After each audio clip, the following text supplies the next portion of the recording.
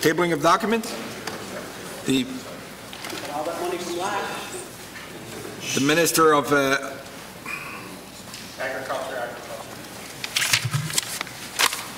Minister of Agriculture, Aquaculture and Fisheries. I have a hard time saying that three times faster. so. Thank you.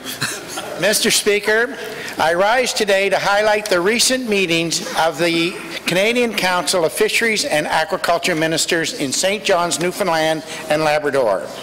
Unfortunately, I was unable to attend the meetings in person, but New Brunswick was well represented with officials from the Department of Agriculture, Aquaculture and Fisheries. Aquaculture was a key topic of discussion.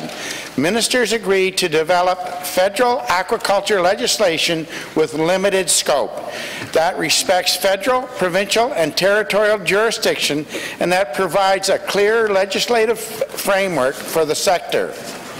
A strong federal and provincial legislative framework would ensure that our aquaculture industry remains a global leader in producing high-quality products in an environmentally, environmentally sustainable manner. As the lead regulator for New Brunswick, it is also helpful as we engage in modernizing our own Aquaculture Act.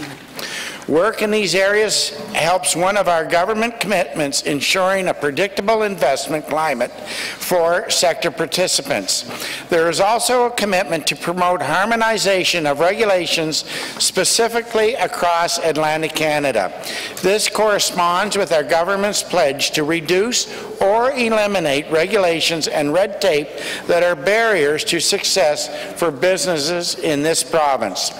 It is encouraging that the Council will be seeking to take full advantage on the promotion of Canadian seafood products in markets that have opened up through new trade agreements.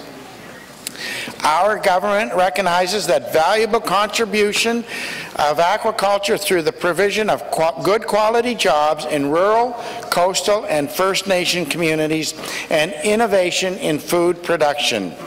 We look forward to engaging with industry, stakeholders, and First Nation communities in New Brunswick on ways to advance the growth of our aquaculture sector.